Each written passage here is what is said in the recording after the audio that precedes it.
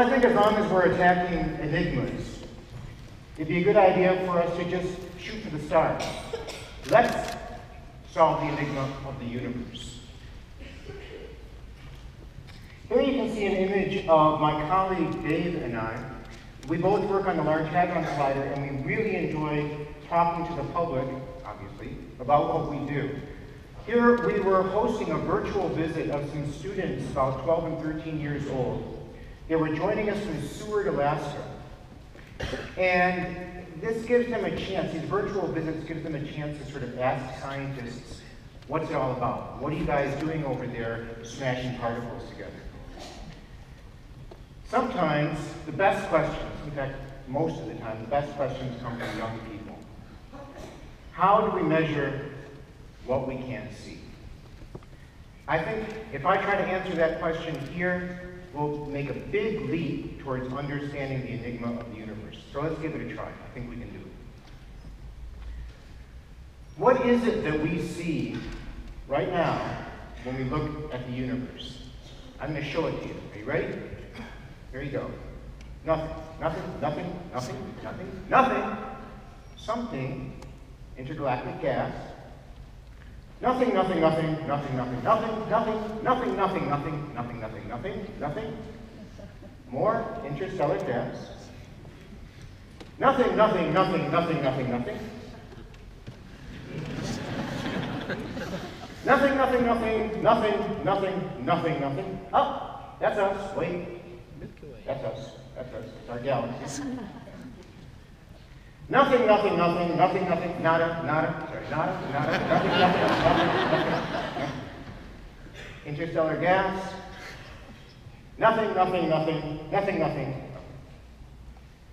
So you guessed it. The universe exactly what you expected it was. A dark beer.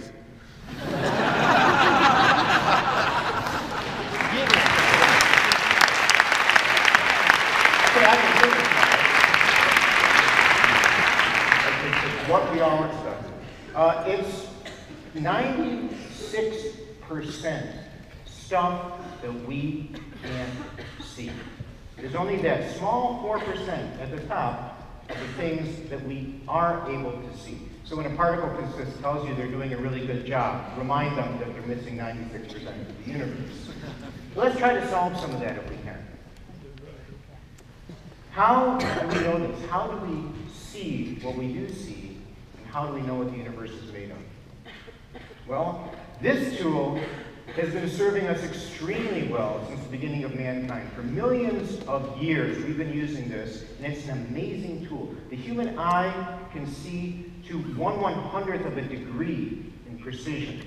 That means that we can look at my colleague Eva's uh, hair. She has very fine blonde hair. That's why I chose her for this. About 40 microns. Don't ever say that us guys aren't observant. Okay, 40, about 40 microns uh, her hair is. You can't go much better than that. That's pretty good precision. That's for something that's up close. But we can also see something very, very far away, 2.5 million light years away. There's this galaxy out there called Andromeda, and we can see that with our bare eyes. We don't need anything more. So we're happy, right? Good enough?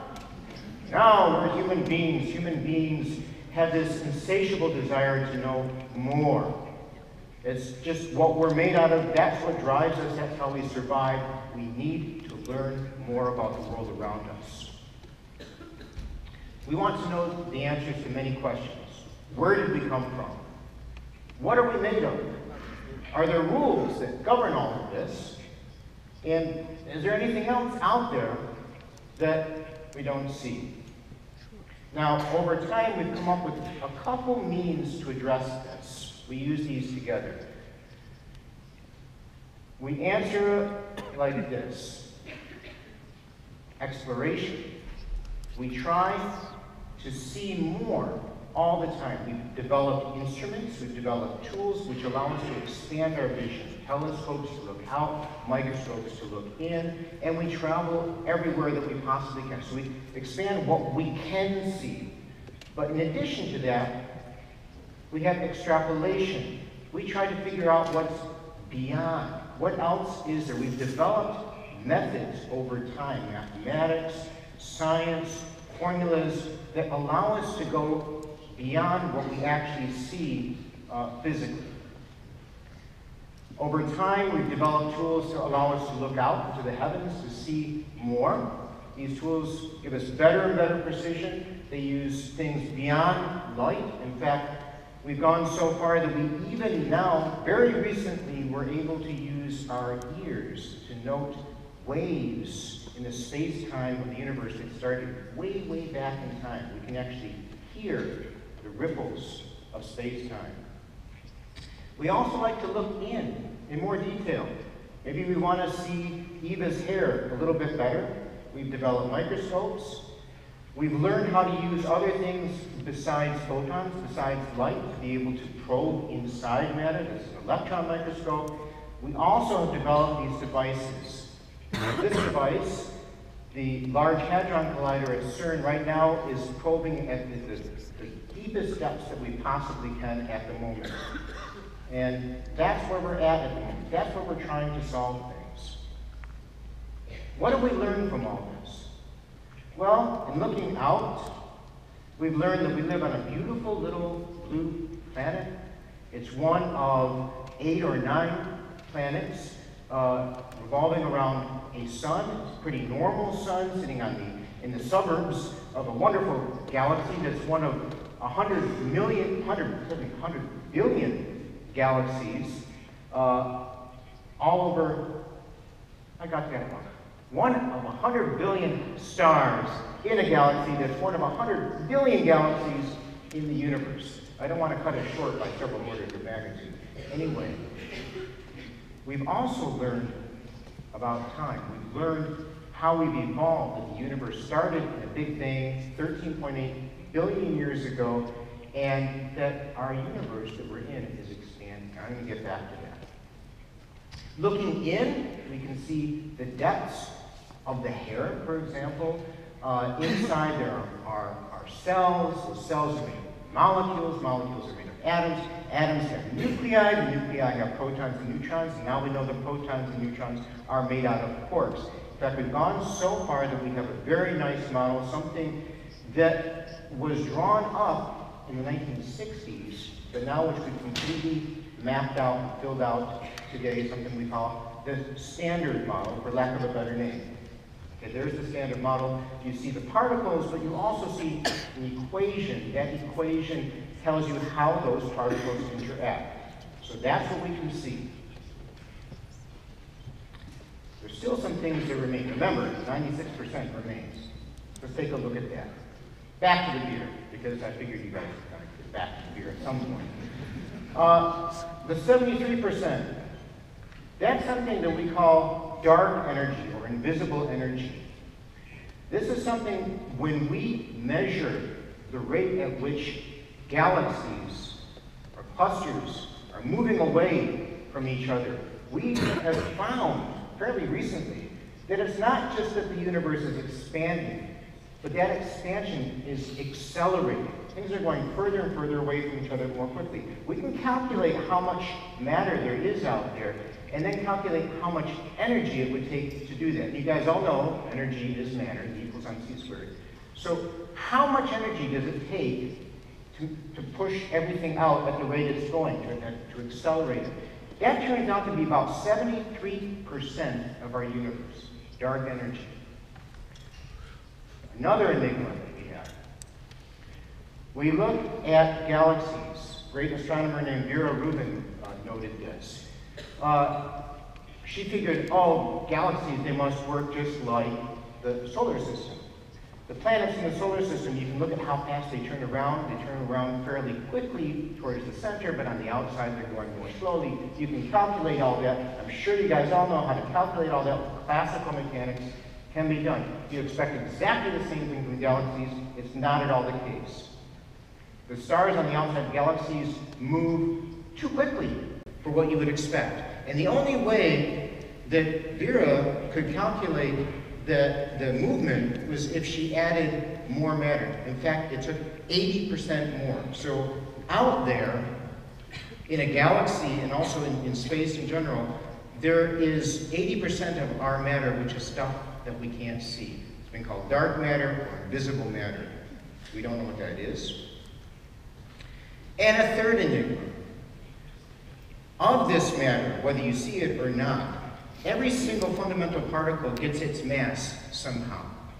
Now, this is a strange thing. A fundamental particle, you may have seen them visualized as, as like this red ball here, they're actually pointless. Um, they're pointless. That's a bad way to. They're actually point, they're point particles. They don't have a volume, yet they have a mass. That's a very, very strange thing. How does something which doesn't have a volume have a mass? We didn't understand that. Okay? It doesn't make sense. And they have different masses. How do you explain that? Okay, who knows which of these enigma have been solved? Anybody know? Anybody want to guess? Which one of these enigma has already been solved? It was solved, uh, you know.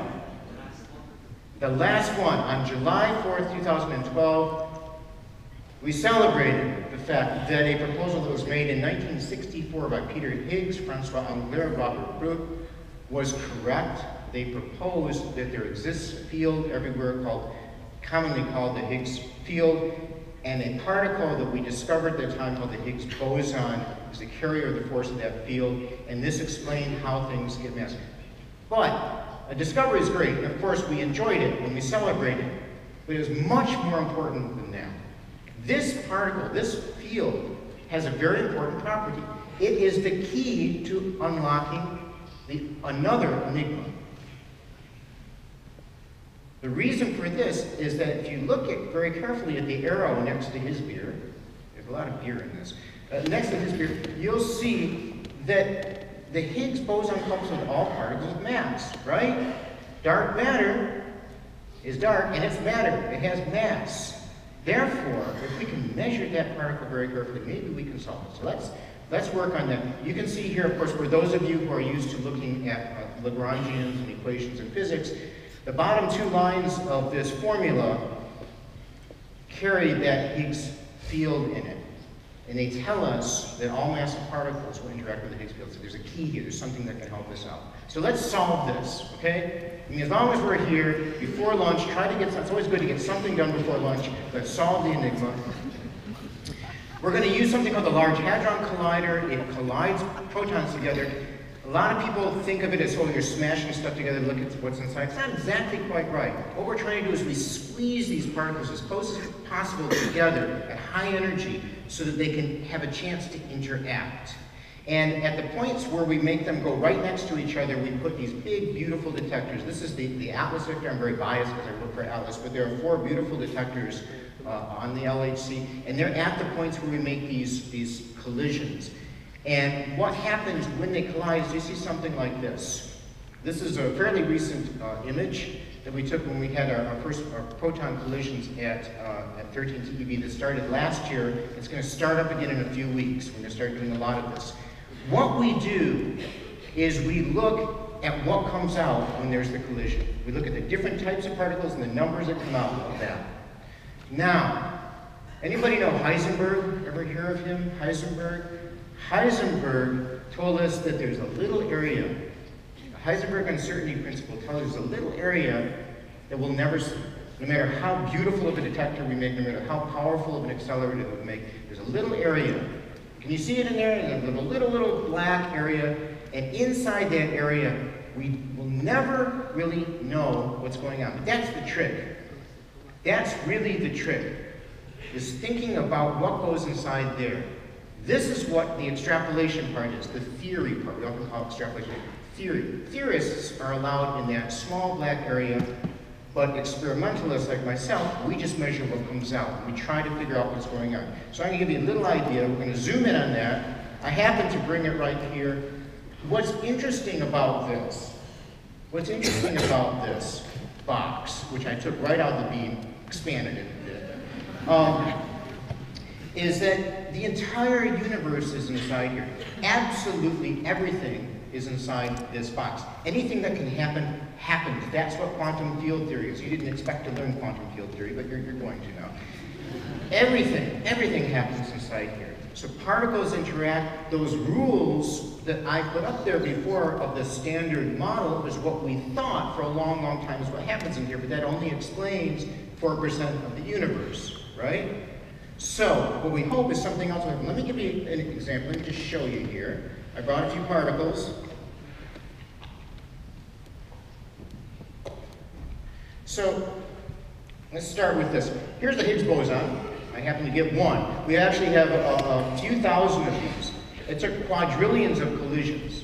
By the way, I don't even, quadrillions is 10 to the whatever. It's really a big number. You need a lot, a lot of collisions in order to produce some of these Higgs bosons. But that never stopped us. We like to do this stuff.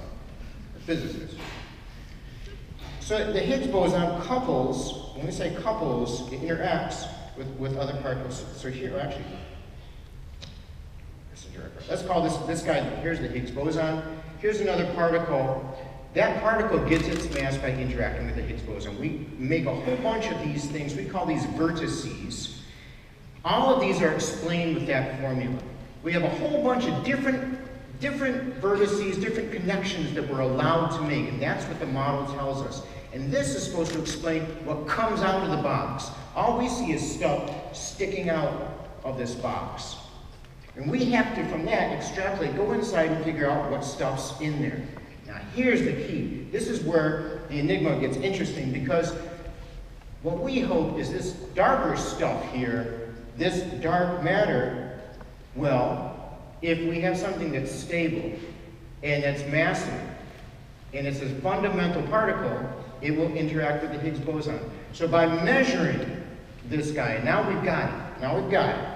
Okay, we've had it for three, almost four years now. We've got that Higgs boson. By measuring a lot of interactions, okay, we will be able to see something which goes beyond what we thought was inside that box. There will be something that will change it. We will see different proportions of particles that come out, or something. Something will surprise us, and it will break the rules. At least that's our hope. So to get back to the question that was asked, how do you measure what you can't see? First of all, you imagine. You imagine what's inside that box. Okay? Secondly, hold on a second. Then, we explore. We explore as best as we can, with the best tools we possibly can, and we have to have a lot of patience. We might be able to find something this year. We're going to have a lot of collisions this year in the LHC. It might take the full 20 years we're going to be running, it might take the next, the next accelerator.